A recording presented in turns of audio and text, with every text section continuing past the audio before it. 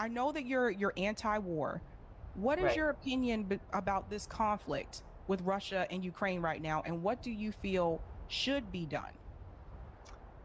Well, the conflict isn't really between Russia and Ukraine, it's between NATO and the West and Russia. And Ukraine is a very unfortunate sacrificial offering uh, to the war policy, which is to destroy Russia, which Biden had made clear, and the White House spokesperson had said that really, I think, last December.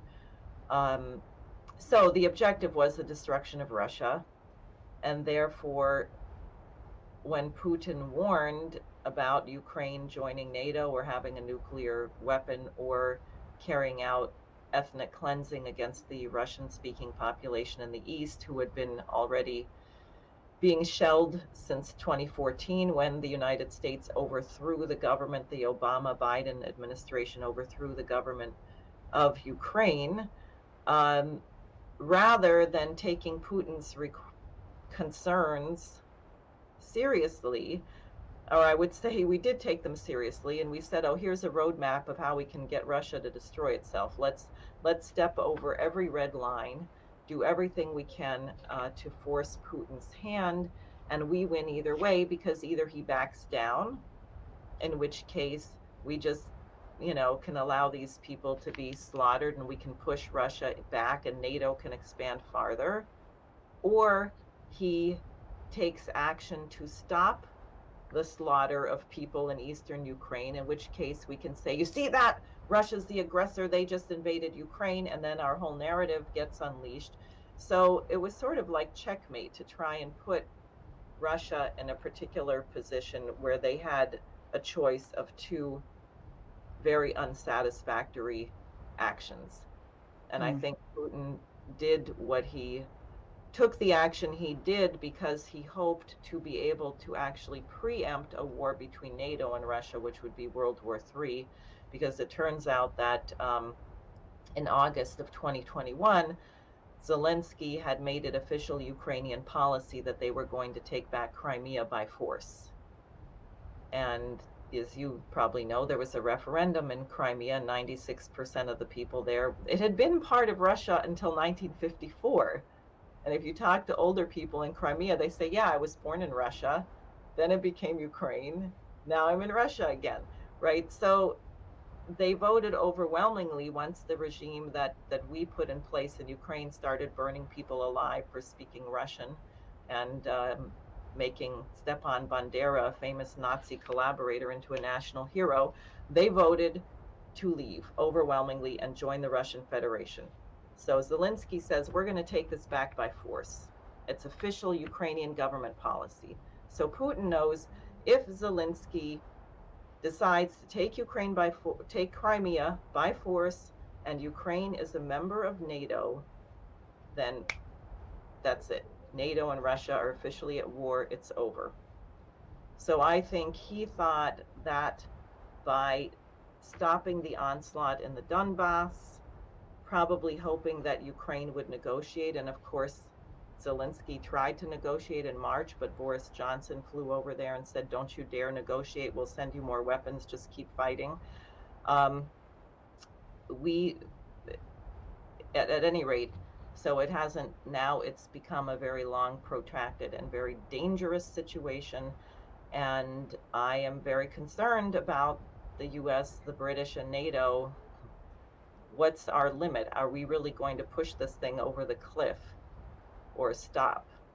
And I'm hoping enough Americans are going to speak up to get the Congress to rein in this administration or whatever it is the intelligence agencies, the people you call the military industrial complex, whatever it is. Uh, Mhm. that's running this because it certainly doesn't represent the majority of the American people. It's certainly not, and it certainly isn't helping the Ukrainian people, and it's not helping the Russian people. And I think there's a lot of you know profit to be made with with this as well. And um, most Americans that I talk to don't realize the profit uh, value with war. Uh, the companies that make make so much money off of this, uh, Lockheed Martin, uh, Northrop Grumman, Raytheon. There's a lot of profit uh, involved with it. And I feel like it's really scary and I feel like it's dangerous because they're also trying to, es- in my opinion, I feel like they're trying to escalate tensions with China as well.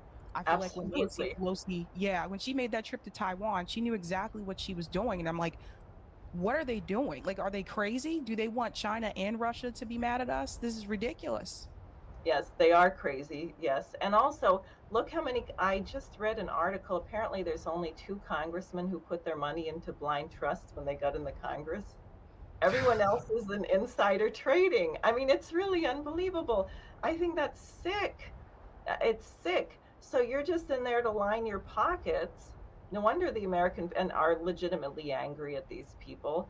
And and see now here's something else that I like to think about because I have a good friend actually, Joel DeJean, his name is. He's running for Congress in uh, Texas. He's an immigrant from Haiti. He's an engineer, and he used to work at Texas Instruments, and then I think Lockheed Martin or one of these. And he said, you know, I just couldn't stand working there anymore when I realized I was producing missiles that were killing people in Yemen.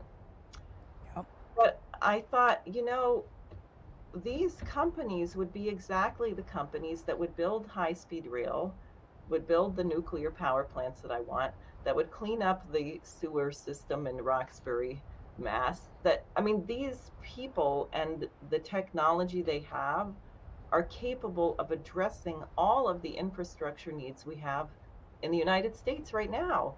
So then I thought, well, isn't that even actually more profitable because you're building things and you're not blowing them up? They're actually lasting and continuing to produce wealth in a certain way. And that's where you see that the problem really is one of ideology and culture. Because, yes, they want to make a profit. The Congress is really happy to make a profit, but at the top of it, it's it's worse than that. It's not just about profit. It actually is about the destruction or the power or somehow lording it over other people. Uh, because really using that technology for the good would be much more profitable over the longer term. Mm.